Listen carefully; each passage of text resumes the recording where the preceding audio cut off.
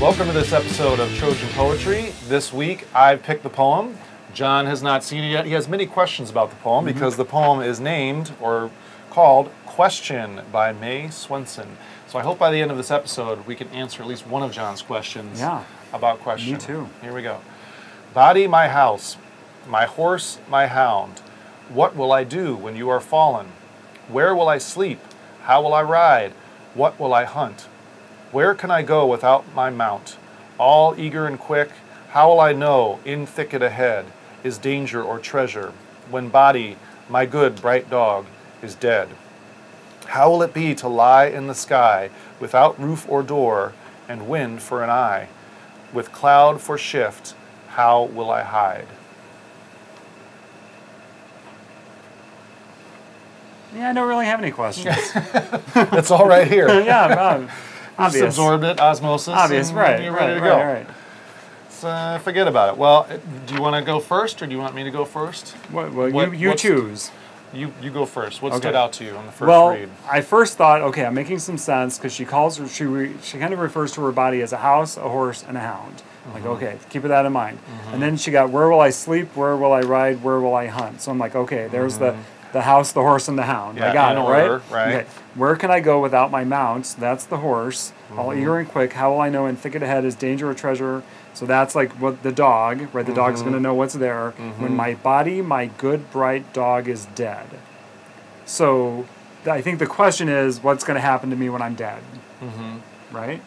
Yes. What happens when my body is dead? Right. How will it be to lie in the sky without roof or door and wind for an eye, with cloud for shift? How will I hide? So I know that shift could mean like a dress, right? Or like some kind of clothing. Yeah. So she seems to be saying, okay, my body is going to die, Mm-hmm. but something is going to be there left. Mm-hmm. Right? So that's that body mind split or the body Mm-hmm. soul split. Um, and then what is she trying to hide? So that then, so I kind of was getting it, but then I think the, the question is, well, my question is, what is she trying to hide? Yeah. Exactly. Why is she Oh, hiding? okay. Right. Well, there, there you go. That's a good question to Yeah. ask about question. Uh, yeah. I. I thought I got it until one to the third stanza, Mm-hmm. where it suddenly it changes to "How will I know in thicket ahead is danger or treasure?" Right, and I guess she's trying to create the mindset of an animal, right? That just kind of like stimulus response, yeah. right? I'm searching something out, Mm-hmm. and then when body, my good bright dog, is dead. So, what I wanted to know is why does it go from triplicate at the top, Mm-hmm. house, horse, hound, and then all of a sudden it's just my body is the dog. I don't know if that matters or Well, not. she goes, where can I go of without my mount? Right, so the my horse mount would is be gone. the horse. Right. eager and quick. How will I? And then how will I know? To the end is the dog. Um, and then I guess when she's lying in the sky without roof or door, that's Yeah. the house, right? So she refers back to that. will it be to I really like that line, "Wind for an eye." I thought that was really cool because I can picture her up in the stratosphere, just Yeah. kind of floating, you know. Right. Um, or is she just become part of the stratosphere and all of the wind is her eye? Like she's hmm. in the ether, kind of like not as a body, obviously, because the body is gone, Right. But But, like- absorbed as part of Yeah. the wind.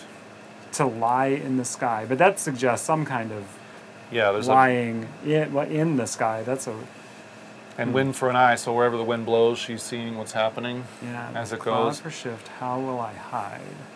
Yeah, what I was wondering is, out of these three things, horse and hound seem to me to be like something you take and you hunt, mm. or you you go out with outside, right? Mm. A house, obviously, you can hide in. But if two thirds of her are things that are, you know, almost like extroverts, you know what I mean? Like you would go and use them outside. What, what is she hiding from? Why does she need to hide? It almost seems like there's another poem hidden Yeah. or ready to be written mm-hmm. about what she's hiding from or what she needs to hide from. Well, what do you do? What is left of you when your body is gone? Right? I mean, that's part of the question. Mm-hmm. Like, what is left of you, and how is your body hiding what the real you is? Because she seems to be saying, when my body is gone, I won't have anything to hide in. Mm-hmm. But what is the I? How will I hide? Mm-hmm. Or The identity hide inside a body. Oh, that's mm-hmm. interesting Yeah. like the I.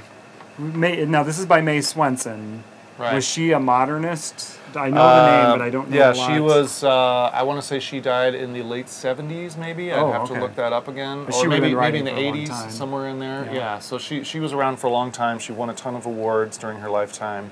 The other thing I just realized when you said that, "Win for an eye, how will I hide?" I Mm. Don't know if there's any relationship between that. Um, you know, the identity, Uh-huh. seeing. because that idea that right you are are you a body? Are you a spirit? Are you the mind? Right what's the connection between those Mm-hmm. two? And if your body is gone What's left? what's left? And and, and has it been hiding in the body that whole time? the whole time? And it seems like she's more comfortable that way right. than potentially letting her real self Oh, out, almost like a genie in the bottle. Right? Now, your real self is out, right. And what do you do? What do you do at that point? what would that even be You like? Yeah. Yeah.